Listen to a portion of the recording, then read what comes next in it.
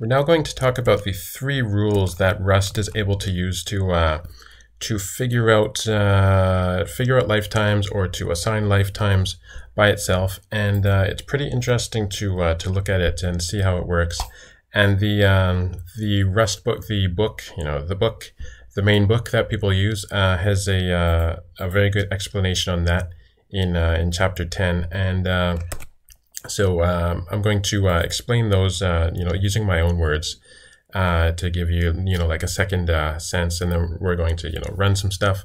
So the first rule is that uh, if um, if you give, say, like a function, um, a number of inputs. So let's say uh, input one, we're calling it a, we're giving it a str function. Um, let's see, what are we going to do? Return str. So we'll give it two strs and we say input one, uh, str input two, and we'll give it a str. And then we will return a str. So we'll do that. And then we're going to uh, try to return it. And this will not work because of uh, rule number one, what Rust does. It looks at this and uh, if it if there's um, if it sees two inputs and you know the references, it's going to give each of them a different lifetime. So from the point of view of the compiler, it's going to do this. Uh, it's going to uh, say, okay, we've got two things. So this function has two lifetimes, and I'm going to call them A and B, says the compiler. And uh, one of them is going to have one, and one is going to have another. And then you can see uh, now it's uh, it's got these two two lifetimes. Actually, I'm going to delete them because uh, we're not going to do the compiler's work for it. And uh, you know we can look at the at the error message, and you can see uh, here's the problem. So this function's return type contains a borrowed value. That's true. Uh, but you didn't say if it's coming from input one or input two. So that's because of rule number one. So it's saying these have two different lifetimes uh, I don't know what to do. And the uh, it actually tells you exactly what to do. It says, hey, why don't you try this? So it, it kind of knows what you what you might be trying to do and it gives you the suggestion. And most of the time, this is what you want to do. So you'll say, okay, no, it's not uh, it's not two lifetimes. There's only one. Uh, this uh, this lives as at least as long as the function.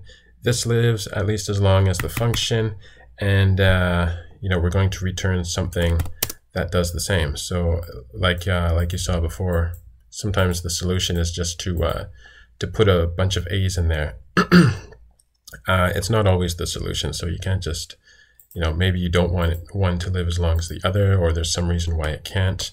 Uh, but uh, there you can see um, now now you can put two references in. You can uh, you can put input three in there and say, hey, you know what, this also lives as long as uh, as the other ones, and Rust is totally fine with that. So that is a that's one interesting thing. Um, it's very good to know uh, when you have like two references coming in. So the second rule is right there. This is the uh, the second and the third are, are quite nice. It's it just says um, if you have one one input, uh, then Rust is just going to assign it to everything. So if you have a uh, input like that. And we take these out and then we uh, just return a, uh, a str.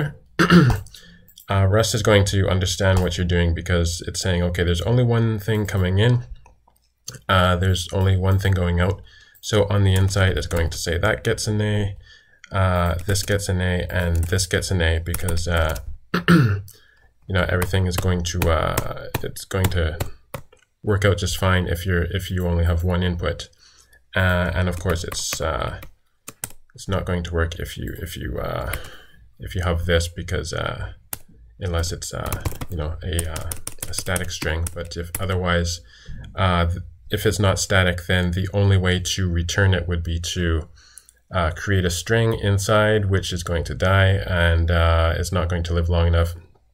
So but you know, Rust is uh, is smart enough to figure that out. And and by the way, you cannot uh, you can't fool it. So you can't say uh, you know, hey, uh, we're going to have one input and uh, one output, and I'm going to say let x equals uh, whoops know, string from like that and uh, reference to x, which is a, you know, this is a str and, uh, you know, please make this happen. It's, uh, it's not, uh, you know, you, you, still can't fool it. So uh, you can't use uh, lifetimes to, uh, to trick the compiler. You can only use it to, uh, to guarantee that you're going to give it something that is, uh, that is okay. And then the, the third one, um, we're just going to read it here because it, it makes a lot of sense. Um, so you can have a, a bunch of input parameters, but if one of them is self or mut self,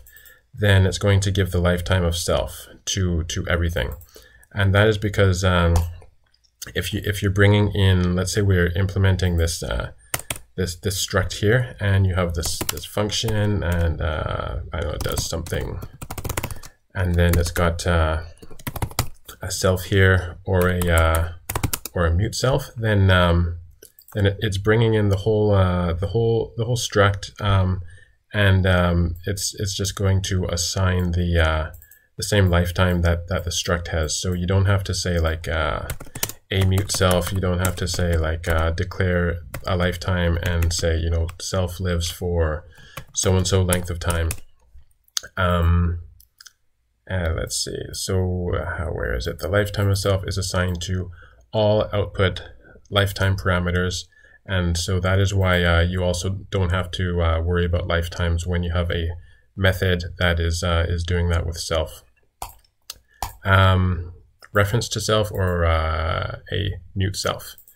So that is the three rules that, that gives you an idea into how Rust looks at lifetimes. And the next uh, the next thing we're going to look at is uh, you know implementing a struct, and um, because you have to declare lifetimes there too.